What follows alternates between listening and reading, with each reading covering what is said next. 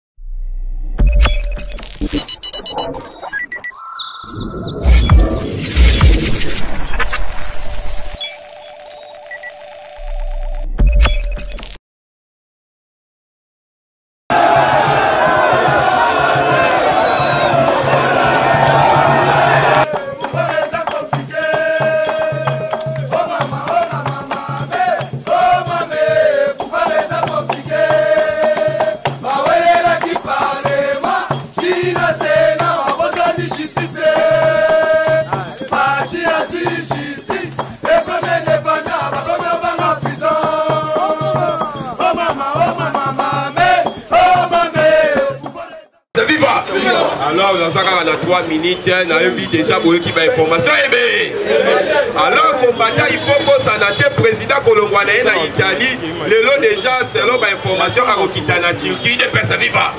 kote bakokutana na collègue na ye recep taib endogan idepesa viva kuna bakosolola masolo ya ka nakobosana te lisusu ozomona makambo esalami oyo epai ya john numbi komona yango mpamba te lobi deja na niveau ya etats-unis dame na organisation ya forum isa afrique balobi joe biden azosala tourne na afrique na afrique akotambola na 5 pays rdc eza deuxième pays yango batindaka unité moko d'avance unité oyo eyaki a bolandi unité wana baye na baekipima sofitike ine pesa viva eza boye bango yo olali na butu badrone ezotambola butu na bu biloko ezalaki epa john numbi eske biso na toyebaki ine pesa viva tofandi nde eza toyebaki mpo monake nayebisi yo na miniti oyo soki oza na pistolet na ndako yango okende kobwaka na fleuve koa udps viva yo ntango yo olali biloko wana ezotambola butubu yango omoni ngobi ya pai nga profite na nsima nango oh, badrone ekobanda otambola mpo na sécurité ya drone yango ya yo udps viva états-unis president ya états-unis soki azokita place batindaka unité moko boye bayaka deja kosala 3 mois yango omoni unité wana babengai bango ba expert idepesa viva baye na bamission ebe apa ya adf baye zu na mission wana koprepare te fati nano akomi te idepesa viva me bainvestisseur allemagne deja bamikomeli liboso na awa 26 province ekozala ya kokangama na chemin de nayebisi yo te kokoma eloko pa olongwe awa mati na goma olongwe na tika indeinde na goma ye mati esili osombi paipor yango manyema manyema omei mai na kasumale oye kosumba na kikui Vida pesa viva! Vida pesa viva! nayebisi bino awa tika kokoma eloko pa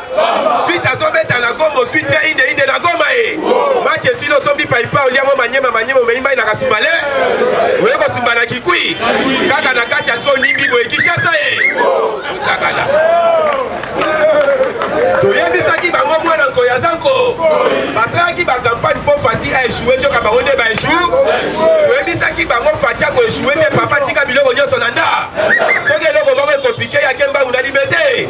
akoti na shambo abimisi tiwa abimisi muka atangi to atangi te mukanda papa atika ya 800 page pacha tije juskela kaka 200 pa il est pas viva de page ya pa na mukanda ya 800 page page ya liboso combat de boulonne un dictateur salisa sebe page ya mibale créer union sacrée ezanga majorité mais zwa major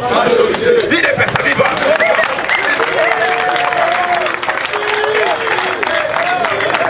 Budapest viva est-ce que troisième page bayebi eloko ebombeli bango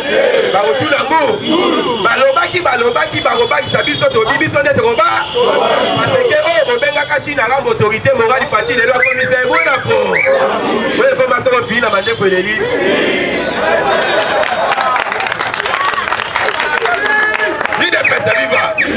oyo babengaka si na lambo autorité morali fati lelo akomisa ye mwana po oyo ekomba soki ofii na mandefu eleli ofii na libumu eleli nalobi kombata fanda na yo kimia na miniti oyo moto akobima te biso nyonso toza ya kombaka matata mponyo le 15 devant la bare mpe balobi bakosambi c'est un procès public biso tosenga kutu ezala na stade ema mutu nyonso amema saki ya mosaki na ye ya vidi na bulka kozonga ata na twa likolo ya masa ide pesa viva parce que ye ayibaki masango ya pepe kongo basakana mutu akobima te le seul mutu azwa chance akobima libanda ya mboka na nzela ya kwata ezali wili bako parce que bolandi deuxième bauti kobenda ye mato balobi na miniti oyo bato bazokima nzela ya bwatu alors fetata bwili bakonga abimaka paseke asedegizaka na mwana mwa kabelo ya shokola na shipa moku eloko ebomaka ye na ngambo ya brazavi kodenda yebi azotambola kaka bakonga bako yango bolanda bie botala mpo bokombane bie ke facha umela na bokonzi ya tala kaka kala mingi te yanga koma président ya sadek yo oza président de la république te bakopesa président sadek ndenge nini ah, nyonso wana fo bokomprenaka idepesi viva ntango papa simo kimbangu kiangani eh, alobi deni kadima uu rien alobi bino bato bozoloba ke azali moluba me mpo na biso ozomona ye mondimi ya eglise kimba idepesi viva alobi biso tozomona eke azali nde mondimi ya eglise kimba biso toponi ye te mpo na ekolo soki toponi ye paske euti epai ya nzambe mpe apesi yango bien alobi me euti epai ya nzambe mpe ye na kati ya vision ya faci bento oyo vision euti epai ya nzambe bango mibale bavision ekobala ekobalana idps viva ye sikoyo moto azoya kotya mokoloto na likambo oyo etali resa resasima na ida identification première point na ye akobanda na seni yango wana nde omoni place wapi bamadidi baluka lamuka le 15 babi bakodetecte marche awa ya makasi soki esipama eza na problème te bosala na bino marche tokotindikila bino la police mpo asecurise bi idps viva biso tosala bamarche na bamarche ti suka na yango tosala 37 ans ya elite na bi bango mpe basala d'abord 37 ans ya bamarche bakompane bagazi ya viole ndenge ezalaka idps viva sikoyo awa yoka bien pona osite apre apesa presidence oclotire Balebi ba maison ezofunga nakoba etabi ya suka awa idps viva viva neza kokita idps viva sikoyo awa président ya sénat na président ya assemblée nationale bosokondi ana ndeko na biso baati lukwe si bakati makambo idps viva basangani bango mibale bazalaki na réunion moko en huis clos merci beaucoup oza la page en huis clos yoka wana baati sikoyo bazotuna yango sokoda ozowumela mpo na nini na makambo etali se idps viva alobi natikelaki bango 72 bakende yoka sikoyo baati se mais 72 oyo otikelaki bango ekoki to nanu ekoki te alors lokola bokreyaki komisio moko paritaire na kati ya assemblée nationale mpo na koluka consensus lokola bozwi consensus esengeli sikoyo obengisa pleniere pour ke boleka na vote na vote botya mbala moko denis kadima azali choix ya peuple ko na vision mokonzi ya mboka le peuple ta je dis je vous remercie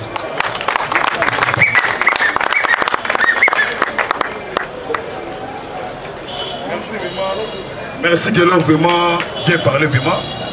tobanda bango kona apesi tout apesi tout tomanifeste avec joie tomanifeste avec joie Idps viva! Idps viva! Idps viva! Tuza!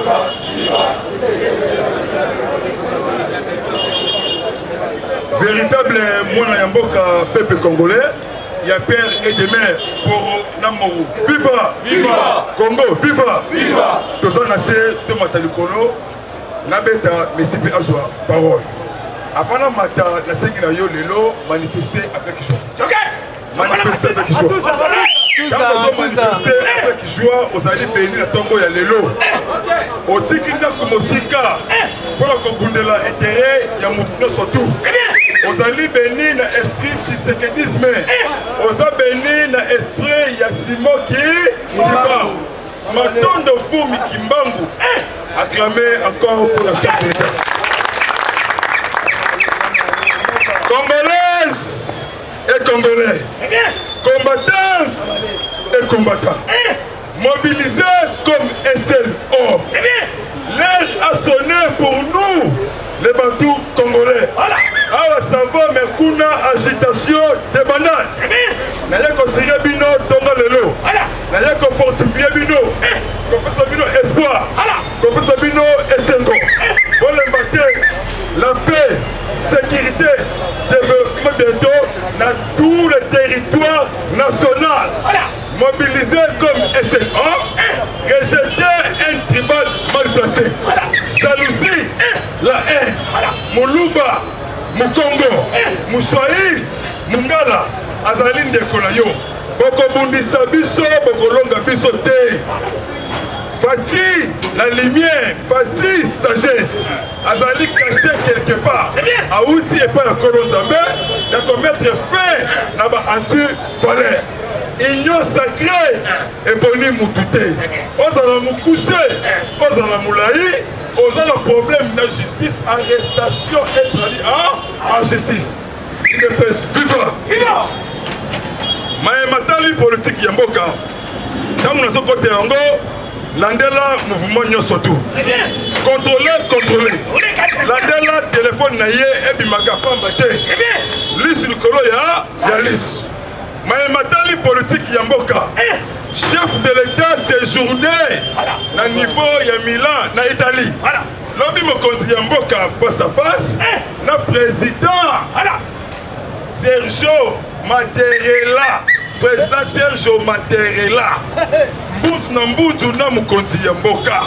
sergio materela ayambi mokonzi ya mboka na palais présidentiel ya baitalien mokonzi ya mboka abeteli ye costume ya croise ya benemi chemise ya pembe ye abeteli pati costume ya noir blanc chemise ya pembe otali na makolo ya materila weston fatia beti ye baoki ya debluki ya kwatibe acclamé pour chef asololi en huis clos président italien materila sergio alobi yo nde okotombola afrique na monde acclamé pour chef de l'état relation entre deux états oyo basololi lobi sikoyo mokonzi ya mboka azobeta virunga na rome pour rencontrer pape françois na vatican ya un complot contre mokonzi ya mboka bozobundisa elili ya papa chef de l'état caché quelque part mwana ya mboka fils du pays un vrai kinois mwana ya ngiringoto komi aveni nzongo mwana ya commune ya lime ya lite le 23 juin 2019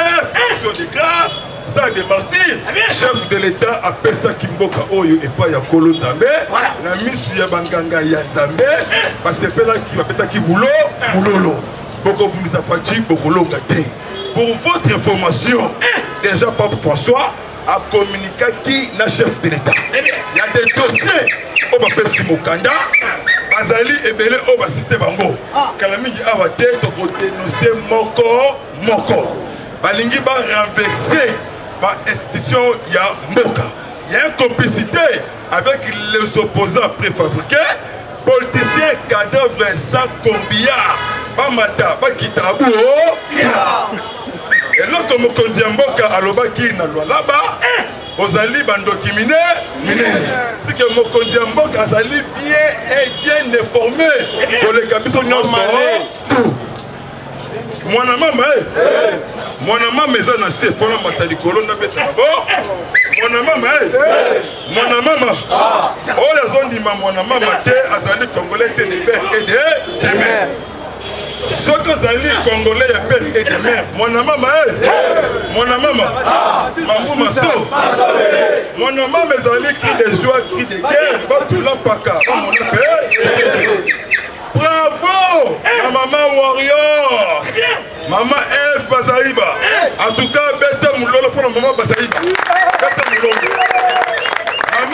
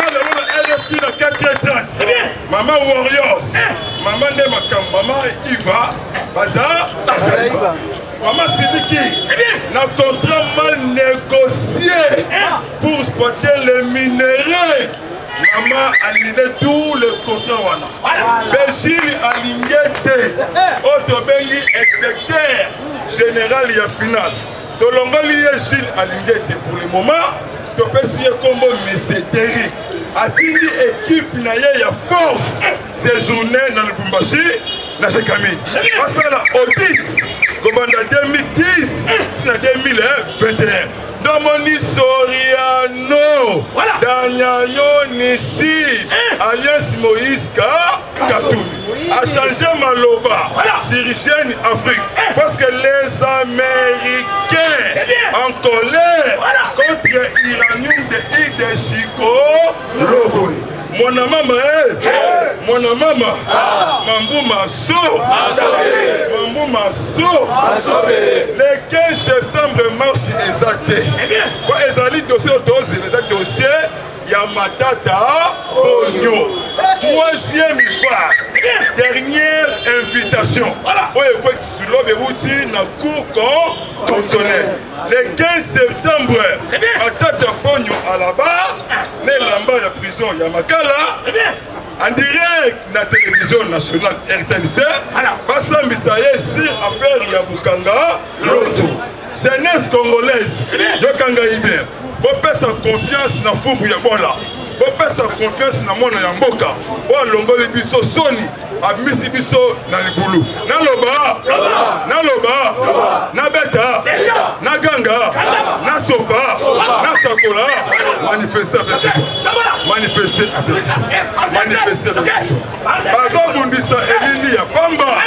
les américains service américain et département d'état mais américain lobi bawuti kofélicite gilles alingeti eh lobi bajete bafleur epa jules alinge te eh. balobi leadership ya président félix matière ya lutte contre la corruption et détournement pillage ya ressource naturelle nde ye moko john balde mwana ya ntango ya états-unis apesi baagent ya fbi oyo bakotravaille na jules alinge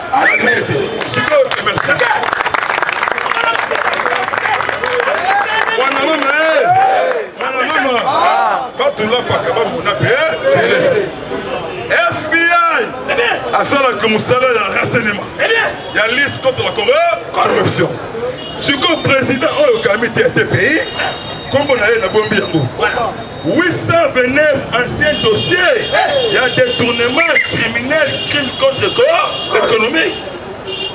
na règne ya kabila 18 ans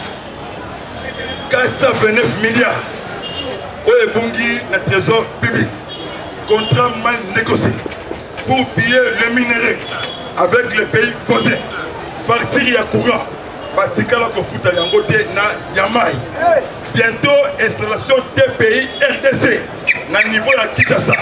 bakolokota bango lokola bangulu bango tu prison ya makaail faut bakanga kabila fo azala arrete aza danger mpo na congo danger mpo na monde makambo esalami lobi na restance ya johnny nu un déserteur ah. ya armée congolaise oyo oh, aza libanda na pays opposé naoki mpasi ntango bazwi plus de quelque arsenal arme de guerre bamunition baarme sophistiqué eza numbi te c'est joseph kanambe hypolite kase kasembele avant élection zongisa image nsima Après l'élection, tomonaki ba chars de combat ebanda komata boulevard Lumumba neti Maluku biso ekende koyenda lokola Gombe lobi na résidence ya John Numb bazwi badossier badossier donc bamikanda ba document ya assassinat ya florida shebeya efidel bazana bazwi lisusu dossier ya assassinat ya musée kabila bakuti bafoto ya bato oyo tu babunga ya barosi moketi ya bato tu na kati ya tout le membre ya udps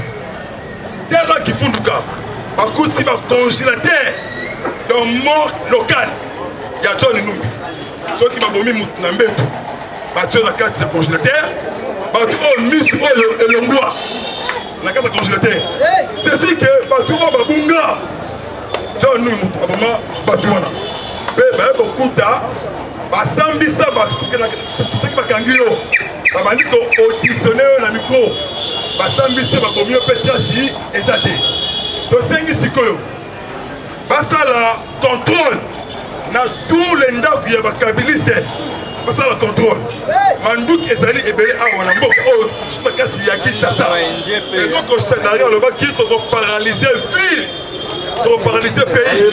yango oyo ekokisamaki yango oyo bazalaki na complot pour renverser fati azalaki coup de force contre chef de l'état nzambe aconfronde bango abu mandoki bazwi wana epesi tension pour votre information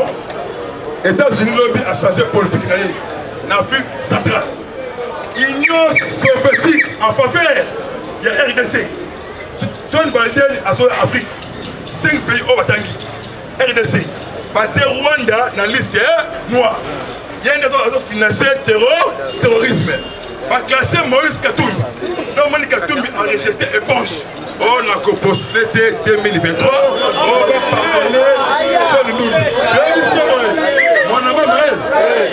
mwana mama toyebisi toyebisi moyesi katuki boye tobosani te affaire ya iranium oyo ekei na bapays voir voisin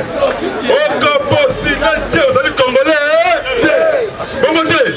mpo nakenda kosukisa natikela messi katogo mwana mama e eh. mwana mama en tout cas merci na aselo daniel lobi aselo daniel place place place bientôt élection gouverneur et vice gouverneur na 14 province kala mingi te congo central tanganyika maniema non tous les territoires eza 14 province basala gouverneur congo central atu bato bana alingaki akima lobi akende angola bakangi ye kuna bazongisi na kati ya matadi atu akobima te Gilles Alingete en tout cas papa Gilles merci kisalu vraiment yangolo awuti ko découvrir enquête basalaki na chaîne nationale RTNC bawuti ko découvrir plus de 400 agents fictifs oh ah, merci vraiment non eza nanu 400 oyo babimisi soki eza 4000 ou 400 tolobela yango bakuti ba agents fictifs oyo babanda kozwa mbongo de 2006 à 2021 baagent fictif munyumba francine sénatrice directrice fictif na kati ya chaine nationale mais azali agent te azwaka mbongo kabila détruit mboka oyo en désordre kabila désigné pour balkaniser notre pays mpona kosukisa premier ministre ya israel oyo aremplaça betanyahu benyamin betanyahu nkombo na ye benafitali benit akutanaki na john biden na maison blanche sikoyo basali coalition ya armée israel na états-unis mpo na kopuye congo na afrique centrale batali bien uganda na rwanda bazwi barefugie ya afrika afrika mingimingi basi baza makasi na babombe humain kobebisa srdc nde bazomatisa badrone awa kala mingi awa te na province ya kinshasa mpo na kocontrole superficie ya kin mpo na kocontrole tout le mouvement siri suspecte epolitika nambe kala mingi tata aza kokangama parce que président ya tpi kala mingi awa te flash flash flash belgique kinshasa bacrime de guerre humanité génocide de 1997 à 2021 bato ya kabila sans pitié surtout baindien oyo bachinois balibanais yaya complicité lobi na niveau ya kamituga na bies kauga park wana ba chinois bazo financer ba groupes armés mpo na kopille minerai ya congo donc moni mama warriors e eh, bazali ba annule contrat mal négocié pour exploiter le minerai ba chinois na kati ya kamituka ministre professeur ya intérieur pardon professeur akei kovisite entreprise minier chinois chinois aosenga ye visa na kati ya mboka awa nakomona ntoli alvi merci vraiment lobisise nzambe vraiment abatela bino ondeko bolingo mpo na congo même esprit bongo te au revoir au revoir au revoir toyebisi martin fayul toyebisi bemba toyebisi moïse katun toyebisi muzik 48 heures basala déclaration na manduki oyo ebimi epai ya john nu nun siko couple bango ya le 15 septembre echoue echoue echoue ezalaki marche te mpo na koparalyse pays parti ya gombe na chambre toyebisi martin fayul Toyebisi Muzitu, bozali ba opposants te, bozali ba nguna peuple Congo congolais. Bomata kokita Fati akowumela makasi ti mokolo Yesu akozo akozonga. Epais de patience mpo na Damas déjà soso Fati Berton si le terrain kala mingi te tokolia tokolemba. Merci vraiment, mais merci vraiment na bakutu oyo bazosunga biso na bapriere toza meme role biso tout mesi ye toza na ebeni vraiment bosunga biso na bapriere bosunga mokonzi ya mboka na bapriere boprie mpo na biso tozwi mosala ya mboka ya kolobela nation congolaise ya kozongisa conscience ya bayimboka oyo baza kokota histoire ya mboka na bango tomema vision ya fatile baoyo baza na na limite na vision ya mokonzi ya mboka je vous assure vous ntongo ya lelo élection bel et bien 2023 korejete tentative ya dialogue etikala kozala te olingi okoma mokonzi ou député provinciaux et nationaux préparez-vous pour aller aux élections ya père et de demeure bomata bokita tokotika pouvoir oyo te tokobatela yango ti mokolo yesu akozo akozonga fati protege epai ya nzambe sire sécurité mpe na maboko ya kolo nzambe mwana ya mboka fils du pays vrai kinois mwana limete mwana ya ngiringiri aveni eh, nzombo na mokonzi ya mboka séjourne na italie na président oyo babengi sergio materla oyo babengi lobi na niveau ya italie mokonzi ya mboka akobeta virunga pour rencontrer pape françois na niveau ya rome badosie oyo ya bato batozolinga bana vexe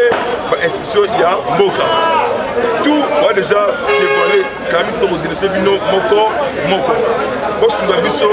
à chaque fois toloba yango sonorisation euh, micro na bafle tolobela peuple congolais tosangisa baye mboka tu mon numéro sur whatsapp plus 243 97 360 50 sio Wate, pardon. Plus 243, 97, 360, 50, 14. Sur WhatsApp, benga ngai peut échanger. Tout le diaspora, comment comme on nous connaît, bolongo la jalousie, bolongo la tribalisme, osimba na la main dans la main. Mboke wuti musika. sikoyo mboka ebimi na libulu mesi ayebisi bino ba imbecile allemand sejourne na kati ya kinshasa bazali awa baye kolanse korelance chemin de fer 10 000 kilomètre oyo ekosunga congo mobimba goma lubumbashi partout agogo tokolia tokole tokolema même moral même esprit bokabwani ezala biso te oza bacongolais ya pere ede eme merci vraiment à bientôt merci pesela merci na bana nyonso ya mboka monde entier bango nyonso bazali kosoutenir eh, baparlementaire debout alors toyebi biso nyonso toza na nsima ya vision ya mokonzi ya mboka oyebi bitumba eza makasi parce que toza na bitumba moko ya baétranger oyo bazolinga babotola pouvoir na biso oyo tozwi yango mbala ya mibale parce que après kasavubu nde toye kozwa lisusu feli tisekedi oyo aza de père et de mère alors il faut vraiment tobatela ye makasi yango wana toza wana tozobunda toyebi ke bitumba ya justice na miyibi ewumelaka mais justice elongaka kaka soki ekosenga prison ya makala tokomisa yango ya de niveau tokosala yango de façon ke batonda kaka alors eh, bokontinue kosoutenir biso président azobunda mpo na souci ya pepe congolais abimaka azongaka pamba te aza na italie akutana na pape apres pape akokende na turquie kota kokutana na homologue na ye recep telpin endogan bakosolola toujours makambo ya baechange nyonso wana intérêt ya pepe congolais tala aza libanda mais bainvestisseur déjà bakomi c'est-à-dire fati azobimisa déjà solo ya développement solo ya développement ezobima na nzoto na ye alors tozomettre en cas na bato nyonso oyo bazolinga batya bakonka jambe na vision ya chef de l'état baoyo bozolinga bosala marche toyebi ke kosimba nango te me tokoakompagne bino ntango bozosala marche biso mpe tokoya na marche mpo toyambana parce ke bible elobi bomoko tokoyambana sikoyo ya ndenge nini ya esengo to koyambana ya makofi ekoyebana wana merci na bana nyonso ya mpoto bana ya oyo baza na kinshasa oyo basutenaka vision ya mokonzi ya mboka oyo bazosoutenir initiative ya parlement debout eza première force ya mobilisation